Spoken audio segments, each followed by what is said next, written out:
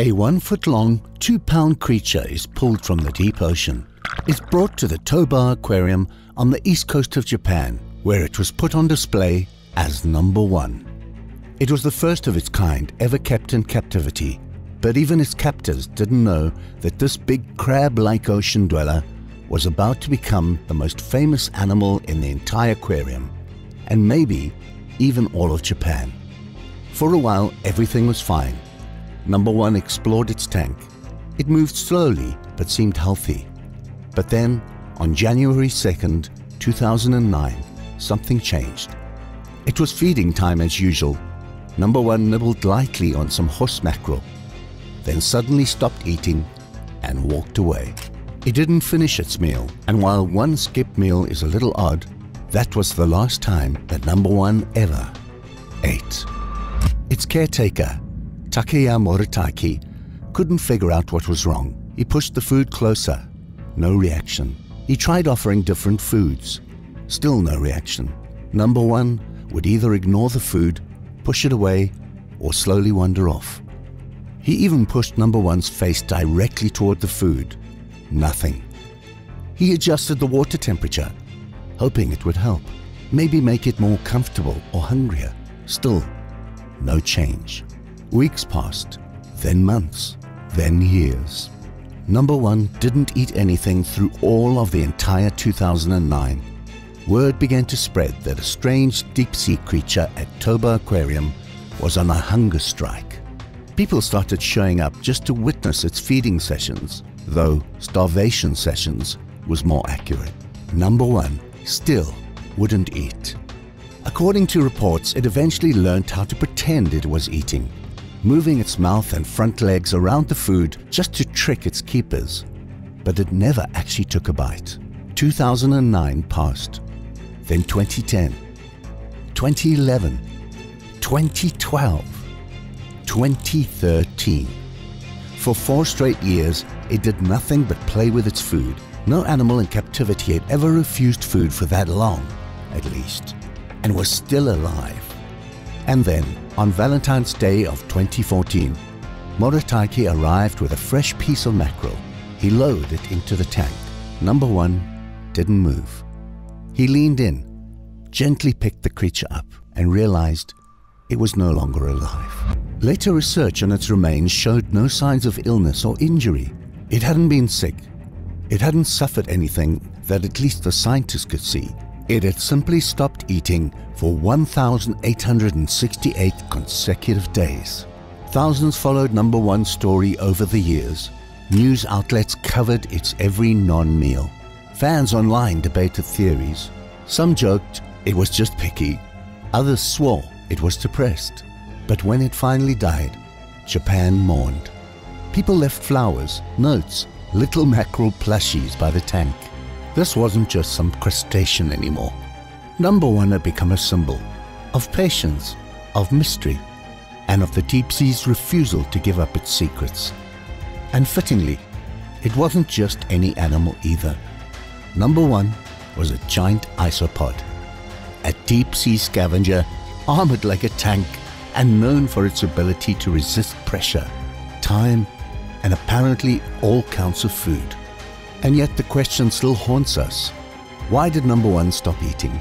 Did it die of starvation or something else? Was there something the aquarium could have done differently? And how the hell did it survive without food for over five years?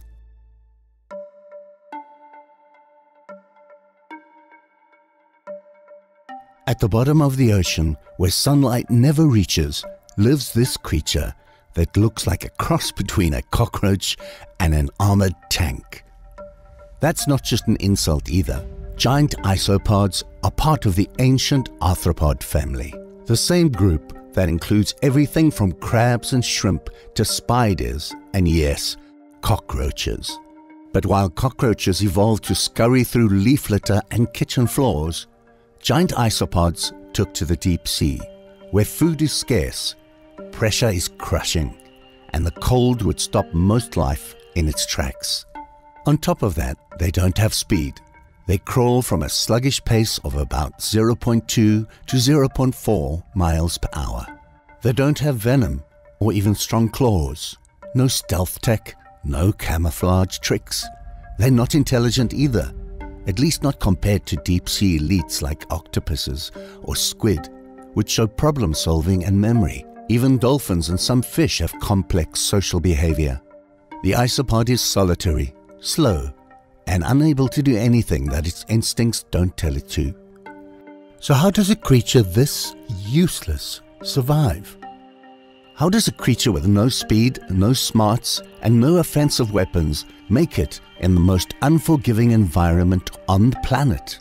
Despite their alien looks, part cockroach, part trilobite, giant isopods are surprisingly close cousins of the pill bugs in your backyard.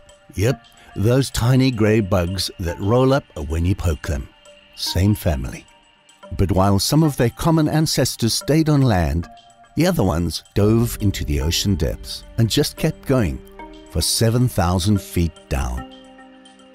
Giant isopods belong to the order Isopoda, a lineage that's been around over 300 million years. And while most people think of Bathynomus giganteus when they think of giant isopods, there are actually 20 known species of giant isopods, ranging in size and distribution. Some are mere 5 inches. Others look like they should be fighting Godzilla under the sea. All of them share the same general strategy armor up, slow down, eat when you can, and wait. For a shark to pass, so that you can pull the ultimate choke slam on it. Now, giant isopods aren't exactly known for being aggressive hunters, but this clip shows them feasting on a dog shark, a rare moment of an isopod taking down a live meal. It was likely captured off an oil rig, where these scavengers can occasionally encounter large, unsuspecting prey. But what makes this moment even more chilling is the fact that isopods are ruthless opportunists and the understanding that for these deep sea creatures, this kind of event doesn't happen often. They don't hunt, they wait, and when they eat, it's usually a feast scavenged from the aftermath of a larger predator. For example, this ROV footage shows an isopod scavenging on a fish head, probably after the fish was taken down by a bigger predator. Food is rare on the ocean floor. There are no plants, no plankton blooms, no hunting grounds bustling with prey. What does exist is a trickle of dead stuff fish, squid, and even whale carcasses that drift down from above. And this is where the giant isopod shines. It is a scavenger par excellence. When a carcass hits the seafloor, it's a feast for them. They use their antenna to detect chemical cues in the water and navigate towards the source. Their eyes, though large and reflective, aren't much help in the pitch black environment. Instead, it's all about scent, touch, and timing. In the absence of photosynthesis, every nutrient matters. A dead tuna can become an entire buffet, and the isopods are often the first to arrive and the last to leave. This cleanup work prevents disease, aids in nutrient cycling, and supports the odd food web that exists below. When they do find food, they gorge. Some experts think that this is one of the reasons why number one was observed devouring so much in captivity that it didn't have to eat again for over five years. This hints at just how extreme their adaptability is. Why it stopped eating, or whether it was starving itself or preparing to die, remains a mystery.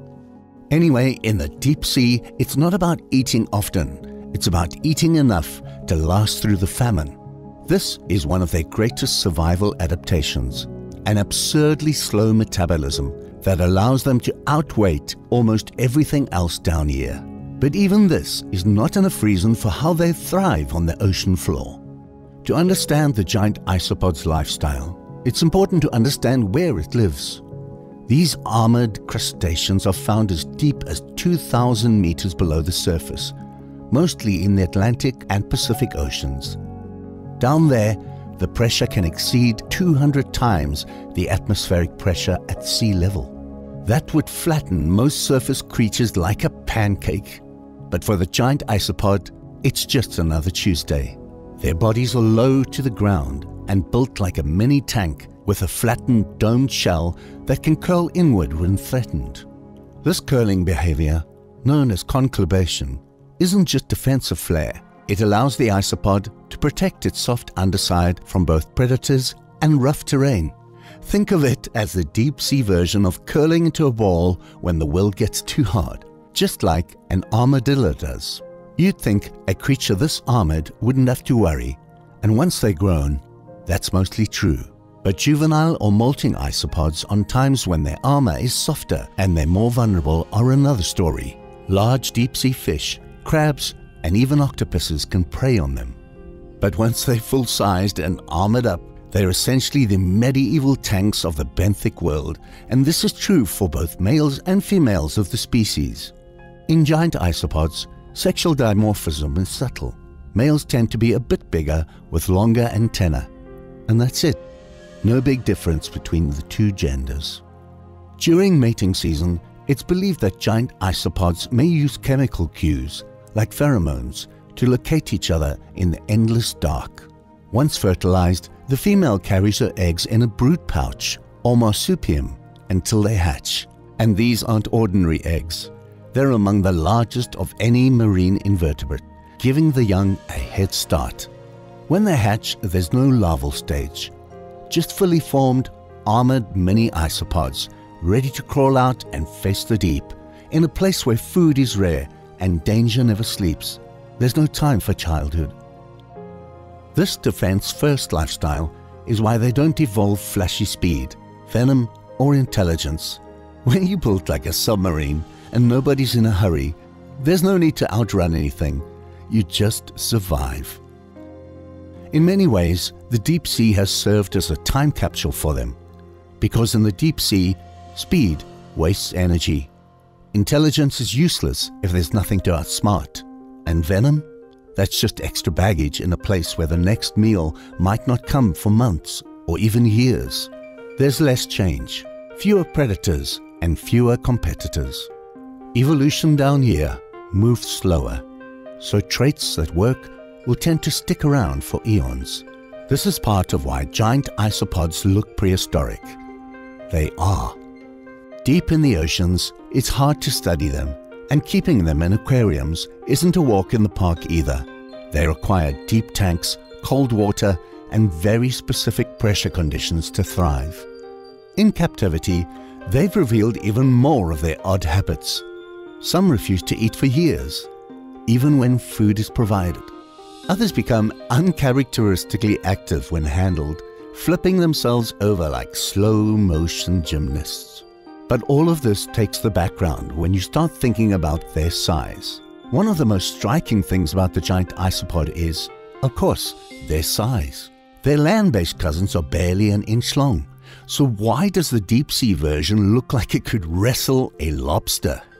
This phenomenon is called deep sea gigantism and while scientists haven't pinned down a single explanation, there are a few leading theories.